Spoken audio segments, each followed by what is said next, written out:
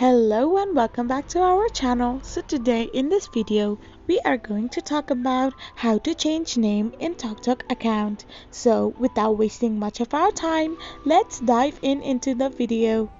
So first of all, all you need to do is click open the TalkTalk app. So once you open the TalkTalk app, you will be redirected to its homepage. Now here you need to click on the profile icon on the below screen.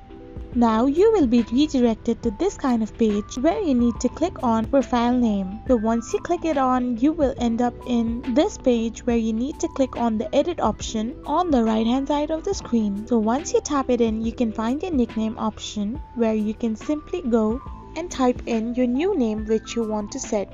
So once you're done setting your new name, you need to click on the save option and this is how you change your name on the TalkTalk account.